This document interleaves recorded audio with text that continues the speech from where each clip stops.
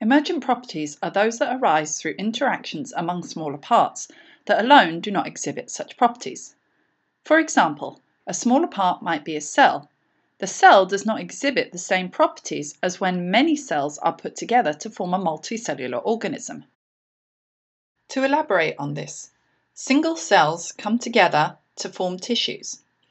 Many different tissues come together to form an organ. And if you put different organs together, they'll form an organ system. For example, if you put the small intestine together with the pancreas, the stomach, and several other organs as well, you'll form the digestive system. Now, in this example, what the digestive system can do is far, far greater than what any one of its singular cellular parts can do. So often, emergent properties are explained by saying that the whole is greater than the sum of the parts.